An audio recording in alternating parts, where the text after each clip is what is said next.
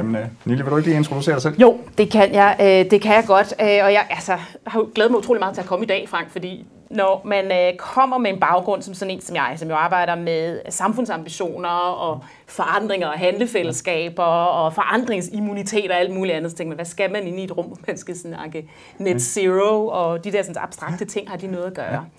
Øh, og øh, øh, som Laura sagde, så driver jeg den nordiske bikorpbevægelse, Øh, og øh, B-Corps, det er sådan nogle øh, virksomheder som din for eksempel, mm-hmm. som har valgt at sige, at vi vil definere, hvordan vi er i verden på en anden måde. Vi vil tage sådan fagtag med det der med, hvad er succes, når vi er en virksomhed.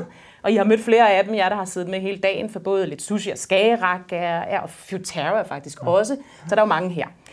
og, og noget af det, som vi har valgt at sige, at når man er sådan en slags virksomhed, noget af det, der sådan er mest inde i grundkernen, og det tror jeg også, når du begynder at snakke, Frank, om lidt, at vi, at vi kan mærke, det er jo, at vi eksisterer ikke bare som os selv. Så scope 1 og 2, det giver ingen dyt mening, når vi snakker klima. Vi bliver nødt til at snakke om hele vores flow-aktiviteter mm. og det aftryk, vi har i verden. Og så begynder det at blive spændende, hvad man kan, når man er en bevægelse af virksomheder. For hvad kan man så sammen? Den ene scope 1 er den anden scope 3, og 2 måske endda også. Og, og hvad er det egentlig, det kræver? Og det, som, øh, som vi har valgt at gøre i Bikorp-bevægelsen, det er at forpligte os sammen. Og der var 538 af os, der gik på scenen i øh, december sidste ja. år og sagde, vi committer os øh, til COP25 til øh, at være net, øh, net zero i 2030. Og skrev under. Super spændende. Og du var en af dem, ved ja, jeg, der skrev ja. under. Jeg er mega ja. nysgerrig på, hvorfor, og hvad har du gjort der på et år, og alt ja, muligt andet. Ja. Men, øh, men øh, jeg glæder mig til at høre, hvordan ja. det var Og vi skal nok tilbage til skub 1 og 2 om et øjeblik også. Så hvad hedder det? Jamen ganske kort, jeg hedder Frank Jensen. Jeg er tredje generation ved ingeniørfirmaet Søren Jensen, så jeg arbejder sammen med min far og min lillebror i virksomheden i dag. Så man kan sige, det er jo sådan en klassisk virksomhed i Danmark med, med hvad hedder det, familieejerskab. Og øh, vi er cirka 150 mand, omsætning på lidt over 100 millioner kroner.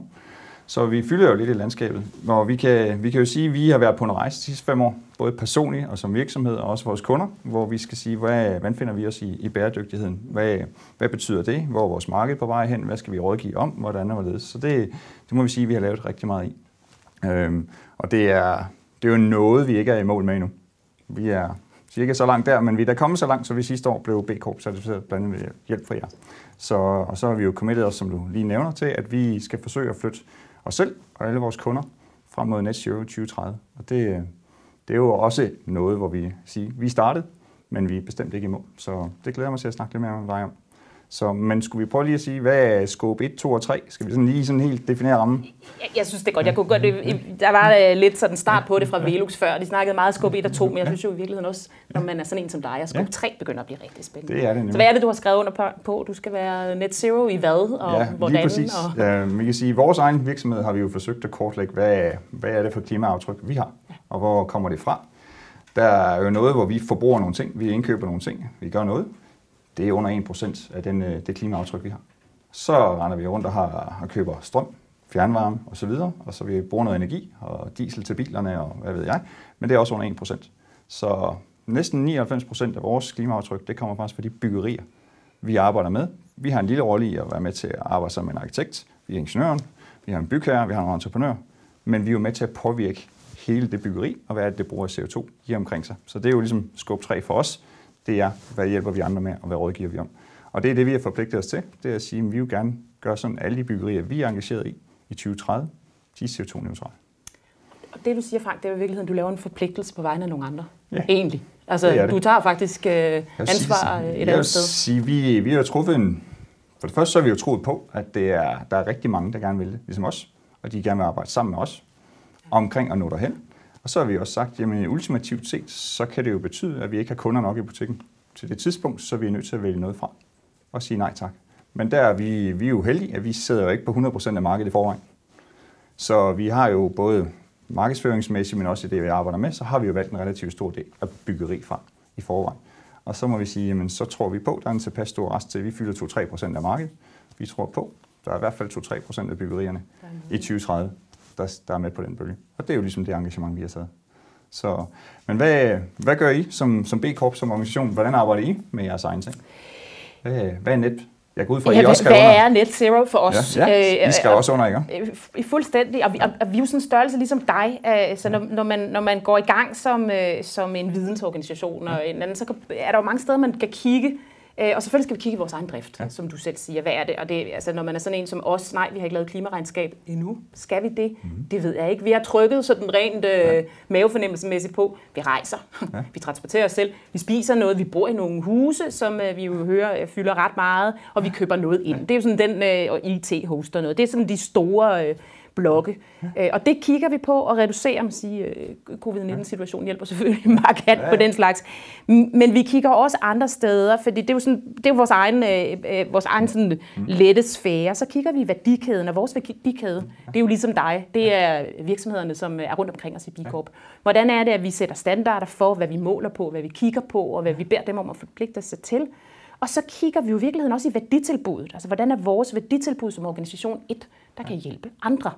Øh, og det er jo her, hvor vi har valgt at sige, at vi tror på øh, kollektive handlefællesskaber. Vi tror på det med at gå sammen om at gøre ting. Vi tror på, at øh, når man skal rejse langt og springe højt og gøre noget, så er det godt at være flere om det, fordi vi har flere, altså flere forskellige ting, vi kan bringe med til den, til den godt. Og det er jo her, hvor at, det at komme ind, så er jo første sådan step til at sige, nu gør vi noget sammen men at facilitere interaktionen mellem jer, putte jer sammen, skabe rum for at sige, jamen, hvad er det egentlig for noget, som, som overlapper? Hvor er det i din kæde, mm. at det har indflydelse på den næste kæde? Hvordan er det, vi kan sætte jer sammen? Hvordan kan vi lave øh, handlefællesskaber, hvor vi tager fat i at gøre noget? Hvordan kan vi sikre, at de dagsordner, der er vigtige, bliver til nogen, vi arbejder sammen om? Fordi vi, altså jeg tror kun på, at vi lykkes øh, med... Øh, med at, at ændre på den måde, vi, øh, vi er i verden, og på den måde, øh, vi sætter aftryk øh, på verden klimamæssigt på, hvis vi begynder at redefinere, hvor ender jeg, og hvor ja, ja. begynder du, og hvad er mit ansvar, og hvor hen er mit ansvar, både tilbagerettet og fremadrettet. Så, altså i virkeligheden tror jeg, at det vigtigste, vi bidrager med, øh, ud over øh, og, og kilde jer lidt, men det er jo i virkeligheden at prøve at se, hvordan er det, vi hjælper jer med at forstå jer selv som en del af et større system. Ja. Hvor jeres virksomheder har en positiv og negativ impact ja. på verden. Det, det er en flod, ja. Øh, og der kommer noget flydende ind, og der er noget, der flyder ud. Og jeg tror, at der, hvor vi ser en meget overset ting, som vi i hvert fald kommer ja. til at kigge meget mere på, det er selvfølgelig i det, der flyder ind, men det er lige så meget ja. det, der flyder ud. Og hvad er det, den ja. impact er. Og når vi ser på de 15 virksomheder i Danmark, der har skrevet under os på, ja. på Net Zero, så er der rigtig mange af dem, der siger, der er faktisk utrolig meget af det her, ja. Der ligger efter os. Lige præcis. Og hvordan arbejder vi med vores kunder? Øh, både vores øh, endkunder, ja. men også som dig, øh, jeres byggerikunder, som jo så også har nogle kunder efterfølgende, der skal bo på en anden måde. Hvordan arbejder vi med de kæder? Og det bliver jo et forandringsspørgsmål, og det bliver jo et forståelsesspørgsmål af, hvad er jeg som en virksomhed, og hvad er mit ansvar? Og er jeg til for, eller hvor er jeg? Altså hele det skift fra et, øh, et, sådan et aktionærperspektiv til meget mere at være et, et øh, system. Men det tror jeg også, og det tror jeg, det fylder meget for, for mange konsulentvirksomheder, at det netop er at rådgive kunder, samarbejdspartnere, sige, hvordan er man forstår sig selv det her. Vi har jo selv været på en, på en lang rejse de sidste fem år, og vi har meget langt endnu, som vi siger. Vi får 100 nye projekter om året, så, øh, og vi har 10 år til at nå net zero, så vi skal flytte hver eneste lille projekt, skal vi prøve at flytte en promille, og det er jo det, vi har samtaler med vores bygherre om, at sige, hvad, hvordan er det, vi sammen med jer tager den ene promille. Og hvordan gør vi så det sammen, og hvis I har andre gode rådgiver, også og arkitekter, så hvordan, hvordan er det, vi gør de ting sammen? Så det er jo, som du siger, det er rigtig meget, det er jo det er kollektiv, for det er jo ikke noget, vi kan ikke gøre noget af det selv. Så, og måler du ja, det, Frank? Fordi ja. man kan sige, du, du er ingeniør ja, øh, og har en, øh, i ja. hvert fald sådan lidt mere øh, fokus på nogle gange noget. Måler du det, sætter I planer for det? Vi hørte, der var været 25 procent, der lavet, klima, har I lavet klimaregnskab? Nej, det har vi ikke. Hvorfor? Hvad, hvorfor? Er det ikke, handler det ikke om at måle veje og tracke og scientific Jo, det gør det også, og... men det handler også om at komme i gang. Så vi har jo ligesom taget udgangspunkt i, i stedet for at spørge økonomisystemet, hvor meget vi brugt, så har vi jo bare været ude og kigge og sige, hvad, hvor mange kuglepinde har vi, hvor meget papir har vi, hvad køber vi ind af frokostordninger, og så har vi bare taget fat i det. Og så vi begyndt at arbejde på det. Og så kommer formaliseringen stille og roligt. Ja, også når vi siger, hvad er net 2030? Jamen i, i min verden, så behøver jeg ikke have et meget præcist billede af det. Fordi det er jo, det er jo stedet på GPS'en et eller andet sted. Men vejen derhen er jo forskellig for mig og for mine kunder og alt muligt andet. Så hvordan er vi navigerer i det? Så man ikke bliver fanget i, at det er en præcis bestemt definition, der gør, at man skal bevæge sig lige meget på alle parametre osv. Så, så det, jeg synes også, det er vigtigt, at man forstår det er som en, en, en bred ting. Og det er jo også det, vi hører. Altså, nu, nu var det Velux før, det er en stor virksomhed. Mange af vores virksomheder, Bikorp-bevægelsen, er jo små og mellemstore virksomheder. To mand, øh, 50 mand, 100 mand, de er jo ikke kæmpe store på den måde. Og der, der er sådan lidt en, det der med at tage springet, det er lidt, uh, skal vi skal vide, hvad det er, og vi skal prøve. Altså, jeg synes, hvad koster det? Ja, ja hvor meget, og hvad, hvad siger jeg nu ja til, og hvad sker der? Og, og de er jo ikke vant til at arbejde. På den her måde. Vi er vant til, når vi sætter mål, det kan vi godt lide som ja. erhvervsledere, ja. sætter vi et mål, som vi ved, Ja, ja. vi kan lykkes med. Ikke? Og det, og det, det kan vi ligesom se, vi er i mål med. Og vi har også en idé om, det kunne jeg i hvert fald se på mange af dem, da de startede med at skulle skrive under. Det kan vi godt nå. Ja, ja. Vi, er der sådan nogenlunde. Øh, og, og, og lige så snart vi begynder at brede den der skub 3 ud, så, så, er så er vi der meget- jo aldrig, vel? Nej. Vi, altså, egentlig. Det er Nej, jo, det er meget svært at forestille os, at vi stopper alt forbrug. Det, det gør vi nok ikke. vi trækker vejret. Ja, ja. øh, Vi fik, fik Nå, de ja, der men, sjove... men, men der er jo øh, ingen tvivl om, at altså noget kommer fra teknologi, men meget er det også at arbejde bevidst med at sige, ja. hvordan reducerer vi vores klimaaftryk, og det er jo det, vi sådan alle sammen hver især skal gøre. Så det er jo en personlig handling. Jeg var nede og holde et foredrag for nogle studerende på en arkitektskole, eller hvad hedder det, på Syddansk Universitet øh, i fredags, og snakke cirkularitet og hele det. Og jeg siger, at der skal være god forretning i bæredygtighed. Og meget af mit job, det går at sige til, til vores kunder, at sige, jamen det er god forretning for jer at bygge bæredygtigt. Og få de ting til at være alignet. Ikke? Og hvordan kommer der så en efterspørgsel på bæredygtig byggeri? Det er jo blandt andet, at pensionskasserne efterspørger de ting. Så når man nu kan se reklamer på tv, at man kan investere klimamæssigt, jamen så er det jo på grund af din og min pensionsordning, der går til det. Så der er flere og flere ting, der går i den rigtige retning. Ikke? Og det er jo super spændende at være en del af det. Frank, er det, er det, er det altså, du, du er forretningsmand, er det, er, det, er, det, er det en opportunity, eller er det idealisme noget af det også? Er det nogle andre, der siger, at hvis du ikke gør det, så kan du ikke øh, tiltrække unge mennesker, eller låne penge? det er, eller? det er en god gryderet og lidt af hvert af det hele. Ikke? Altså, for der er ingen tvivl om, det er også en, vi er en mellemstor virksomhed, så vi kan differentieres i forhold til de store, være, være på forkant med nogle ting. Vi har et brand, hvor vi er vant til at arbejde, som vi siger, inspirerende ingeniørkunst, og hvordan kan vi så bruge det til at finde ud af, hvordan løser vi klimakrisen, så det passer også ind i det. Men jeg er også øh, far og, og hvad hedder det, familiefar derhjemme, ikke? Og, og børn, der siger, jeg skal ikke fuck med klimaet, ikke? så ingen batterier i skraldespanden og sådan noget. Så der, det, er jo, det er jo en rejse for os alle sammen. Og nu er der jo mange forskellige slags virksomheder i vores bevægelse, og med modeller, der kan forskelligt. Og nogle af dem er øh, tungere i øh, den ene vej af kæden, og tungere i den anden vej af kæden. Men jeg synes, det, der har været sjovt at, at, at følge i vores klimakollektiv, altså, når vi går, går til klima, som vi jo sådan set gør, øh, sådan cirka en gang om måneden, øh, at, at de forskellige former, vi har en, en bank for eksempel, at de begynder jo at kigge på, hvor meget vejer øh, udlånet CO2-mæssigt.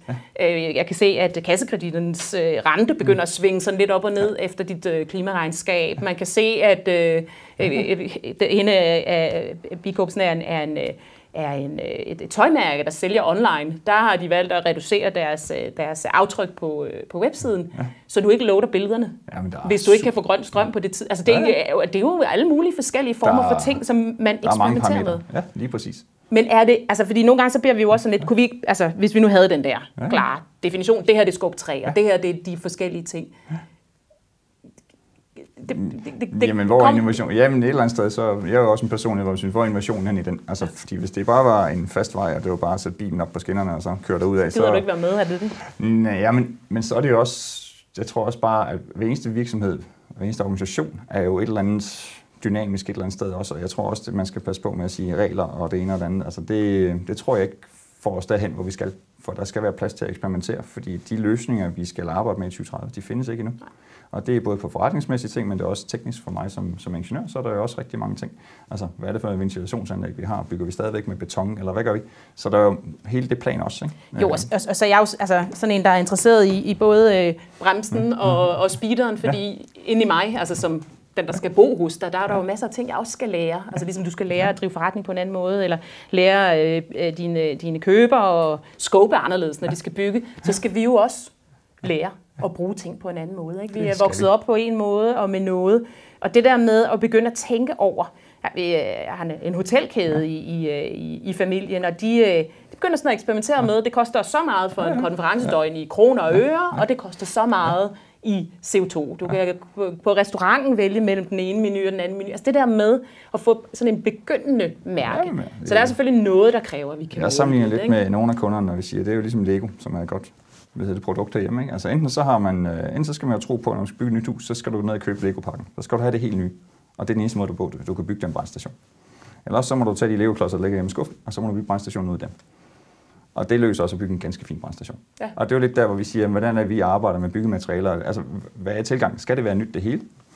Det er jo en måde at gøre det på, men der er så sandelig også en anden måde, der siger, at der måske er forhåbentlig på sigt bliver billigere.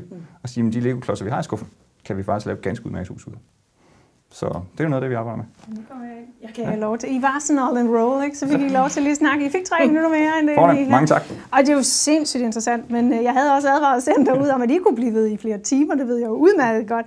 Øh, jeg synes faktisk, vi starter der, hvor du sluttede, ikke? Fordi du siger, at vi kan faktisk godt bare bygge det der Lego, den der Lego-brandstation af de byggeklodser, vi allerede har.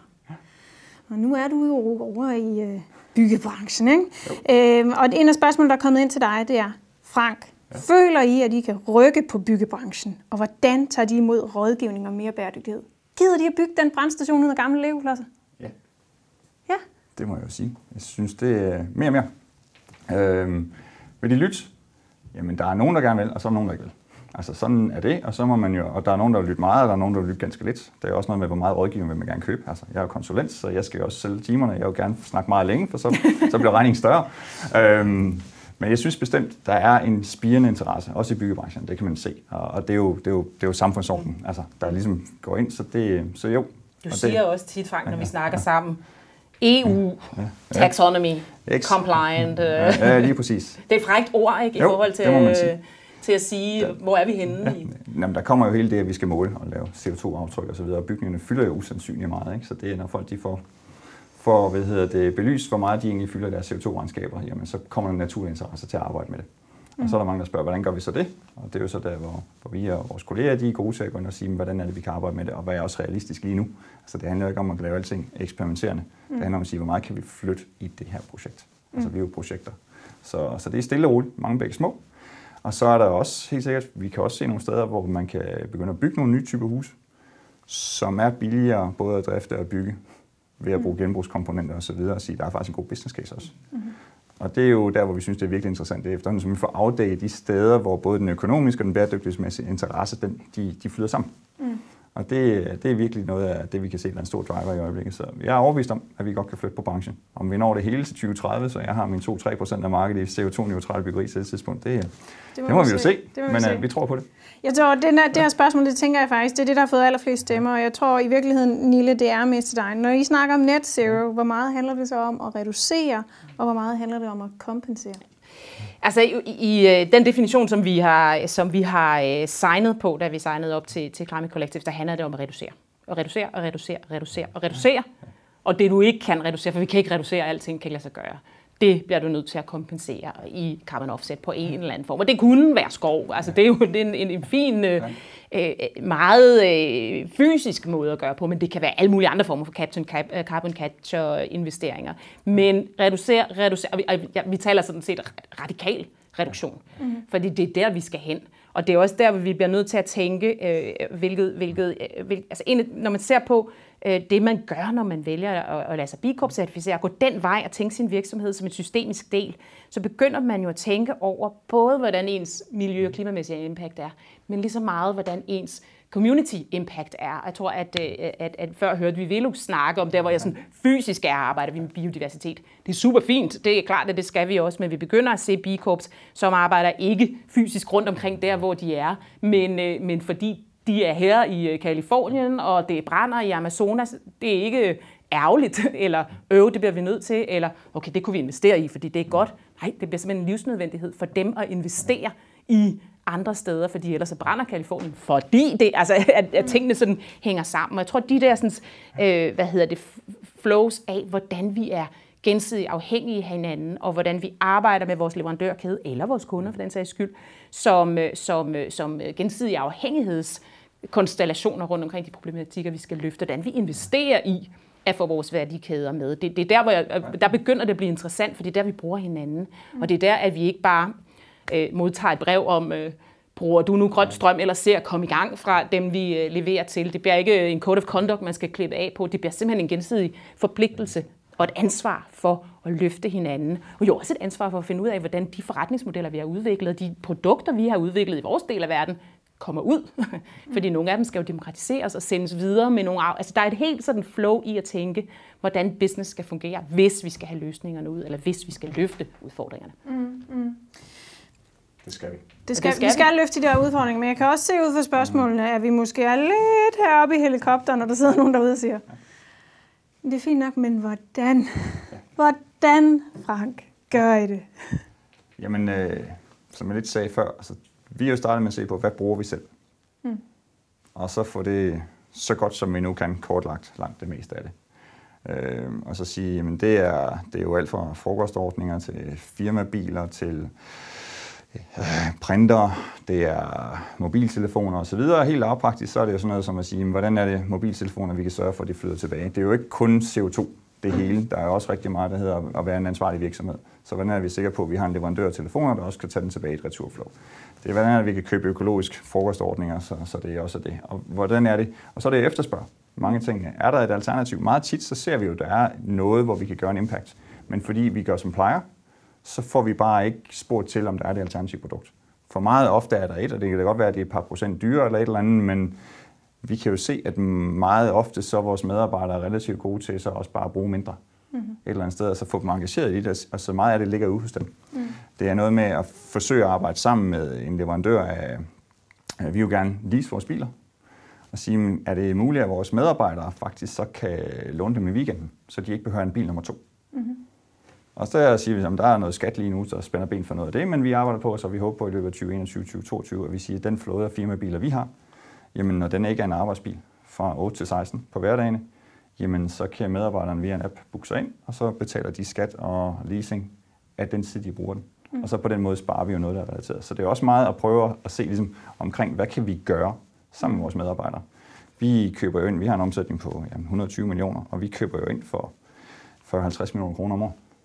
Og så sige, hvad er, det, hvad er det, vi køber? Og så være med til at skabe en efterspørgsel. Nu øh, hørte jeg tidligere i dag, der var regeringen, eller ikke regeringen, men Dansk Energi hostede jo, hvad hedder det, Power to X, hvor det handler om at, at brinte osv., men det er også at sige, der skal du både til at lave brint, men du skal også have efterspørgselen på plads. Så meget af det, vi også ser, det er også at skabe en efterspørgsel. Det er også det, jeg arbejder sammen med mange af mine kunder om, at sige, at sige du er nødt til at efterspørge noget. Hvis mm. ikke du efterspørger det, så kommer produktet ikke på markedet. Og det er en væsentlig del af det også. Så helt lavpraktisk, hvis jeg køber en kuglepen, hvad er der derude? Og så husk at spørge spørgsmålet. Jeg vil faktisk gerne købe en, der er mere bæredygtig, har mindre klimaaftryk, end den, du har på hylden. Kan du gøre noget? Men forventer du så, at den producent af den kuglepen og den frokostordning kan give dig klimaaftrykket, så du har noget at holde op imod? Eller hvordan hulen får du de tal frem? Ja, det er jo et godt spørgsmål. Jamen det er, ja jo, men... Jeg har ikke sagt, der, det var nemt. Nej, nej, men der, der er jo noget af det, vi ikke kan få det på. Mm. Det er, og så er der noget, hvor vi kan sige, at der er nogle benchmarks, der er nogle ting at sige, men det er jo igen, altså vi skal jo træne i at dokumentere de her ting. Der er ikke ret meget af det, der er veldefineret lige pt. Om et år eller to, så er vi meget længere med det, og tre og fem år, så skal det nok være på plads. Så det er også bare med at stille de spørgsmål, få den dokumentation, man kan få. Det samme gælder byggematerialer. Vi specificerer rigtig mange bygninger, altså hvor kommer betonen fra, og hvor skal den hen bagefter, alle de her ting. Og der er noget, der er meget velbeskrevet. Mm. FSC, I står jo selv for noget af træet, ikke? som øh, vi husker efterspørge, er det nu FSC godkendt mm. osv., øh, certificeret, eller, eller er det ikke? Og, og, og det er jo igen et forsøg på at skabe en efterspørgsel og sige, mm. prøv nu at høre, det træ vi gerne vil bruge, det skal være sådan og sådan. Ikke? Og det er jo faktisk det, bygherren køber mm. køber sådan og sådan. Jeg tror virkelig, du siger noget ja. vigtigt, Frank, for du siger, vi bliver nødt til at starte, ja. og vi bliver nødt til at øve os, og vi bliver nødt til at altså, tænke, vi kan, vi kan ikke sidde og tænke det her ud og få en mærkningsvægtningsordning på alt. Så vi bliver nødt til at starte. Og så bliver vi nødt til at være, altså i virkeligheden, øh, øh, ærlige nok til at være transparente på at sige, at vi har gjort sådan her. Det her det er den måde, vi regner det på lige nu. Øh, det er med, måske ikke godt nok næste år, men det er sådan, vi starter. Og så, altså, og så tror jeg i virkeligheden på, det, altså i virkeligheden er det, at, at vi forpligter os til, det er sådan et, et løfte, som vi, ikke kan, så vi ikke kan levere på selv. Så vi bliver nødt til at, at lægge det der uh, cry for help out og sige, vi er her. Er der nogen andre, der har noget andet data? Er der noget, vi kan bygge på? Kan vi starte? Uh, og, og så, man sige, så er der så nogen, der, der, der er joy øh, freerider på det. Det er det garanteret. Men, men, men, men at begynde at gå i gang og blive dygtigere og klogere, for det er en helt ny måde, at vi skal tænke på. Og så tror jeg også, det andet handler om at sige, øh, i, her, her til morgen, øh, eller var det i går aften, skulle man høre, at regeringen sagde, at vi skal lige have noget mink på plads, før vi kan begynde at snakke om landbruget, og hvordan vi skal tænke på klimaaftrykket på landbruget. Jeg tænkte, vi bliver nødt til at kigge på, på, på begge dele. Altså, når man, og, og, og, og der tænker jeg, som virksomheder, bliver vi nødt til at nogle gange sige, jamen, så er der CO2, eller greenhouse gas, som det jo i virkeligheden er, og det er jo mange ting, det er jo ikke kun CO2. Og hvad med biodiversiteten? Og, og gud, der er også noget med, hvis vi reducerer derover, hvad har det så af menneskelige impact andre steder i en værdikæde, fordi vi så ikke køber? Altså, vi bliver nødt til at se øh, hele vejen rundt på, på de konsekvenser, der er. Og så nogle gange, så, kan vi, altså, så må vi tage en beslutning. Men lidt tilbage til os, altså, vi sagde, at langt størstedelen, det er jo er skub 3 for os. Det er, det er de bygninger, vi tegner. Mm. Det er jo dem, der har den største impact. Og det er jo der, vi forsøger at lægge energi. Men det er også der, jeg har min forretning. Mm. Så hvis jeg er klog på, hvordan jeg skaber byggeri, der bruger mindre carbon i at blive bygget, eller driftet, eller hvordan det ledes, jamen så tror jeg også på, at jeg har en forretningsmæssig fordel osv. Så, så, så, så vi forsøger jo at lægge størstedelen af vores energi i det arbejde, og så har vi jo en bix og køber ind for 40 millioner, som vi også arbejder på, men vi flytter jo bare ikke ret meget. Mm. Nej, men der flytter vi lidt mere, ja. Frank, når vi slår sammen, Ja. kan man så Ja, sige. ja. Så det er jo der, hvor vores fælles løsninger, fordi nu, nu at, Ja, ja. køber du ikke ind som de andre, men nogle af de andre køber emballage, for eksempel. Hvorfor er det, at de øh, 20 øh, takeaway øh, der ligger, ikke sætter sig ned og finder ud af, at laver vi en fælles emballage, så vi kan få udviklet noget, der altså, skaber noget mere efterspørgsel sammen. Så det er jo det, man kan, når man pludselig er et handlefællesskab med, med øh, nu er der 900, tror jeg, virksomheder globalt, der har skrevet under på, på Net Zero. Så det, det begynder jo at blive nogen, der kan noget, hvis man... Øh, Der er hvis ingen man tvivl man forsøger at købe ind hos de partnere, der har det samme værdiskab, som vi også har. Og det, det kan jeg også godt mærke, at kunderne efterspørger også, om der er med de fællesskab, men det kunden gerne vil med sit nye hus, og om jeg kan så kan levere det. Altså, der er jo mange værdier i det her, mm. som er super vigtige. Jeg vidste godt, at de to ville blive svære at stoppe. Ja. Det havde jeg på fornemmelse, det havde jeg varet. varslet hele holdet herom. Tusind tak, fordi I var med, og, øh, fordi I og forhåbentlig gjorde det sådan rimelig håndgribeligt. Det, det tænker jeg, det ser ud som om herovre. Det er i hvert fald ikke sådan, så det er ekspederet. altså. Ja. Bare kom i gang.